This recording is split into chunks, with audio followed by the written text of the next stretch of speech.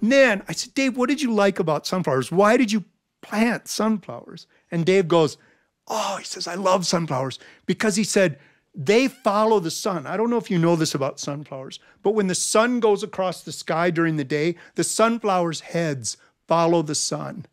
And I said, and he says, sometimes I'll just stand in the field and our heads all follow the sun across the sky. And I go, Dave, what do you do when it's cloudy? What do you do when there's no sun out? Oh, he goes, that's even better. He said, because that's when the sunflowers turn and face each other. And I thought of those sunflowers facing each other and what we've been through with COVID, what we've been through being apart, and now being together right now, having the ability to gather again, and how important that is to gather.